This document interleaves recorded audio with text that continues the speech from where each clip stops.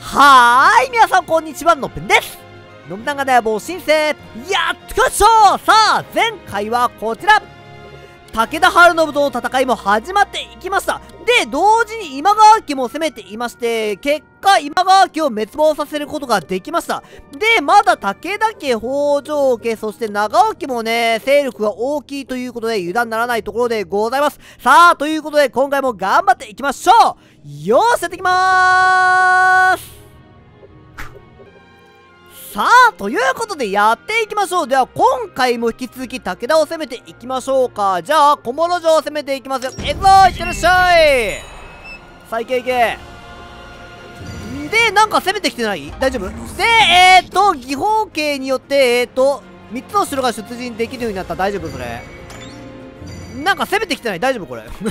え、え、え、え、え、なんか大丈夫？これ。えーとね、名所再建、これは、えーと、諏訪大社ですね。いや、今、それどころじゃない。えーと、国衆取り込みからの、えーと、兵糧支援ね、お願いします。で、ちょっと今、諏訪大社が危ない。大丈夫か？はい、大型の台風が上陸したようです。大丈夫ですか？また台風？しょっちゅう来るなもうめちゃくちゃ被害受けてるじゃん。もう最悪だわ。いや、大丈夫それ。えーと、諏訪大社は、えーと、再建、えーできました。ナイス。オッケー。えーと、だがしかし、えーと、河川氾濫、はいはいはい。対応します。で、河川氾濫でお願いします。いやー、でもこっからまたひどくなってくるような気がする。で、河川やれる？行きましょう。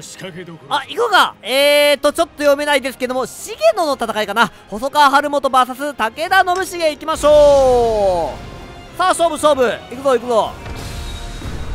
さあ春信はどうしたんだ？なぜ息子のお前が出しゃばってくる？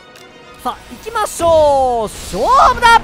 行きまーす！はい回戦シュピーさあ行きましょう。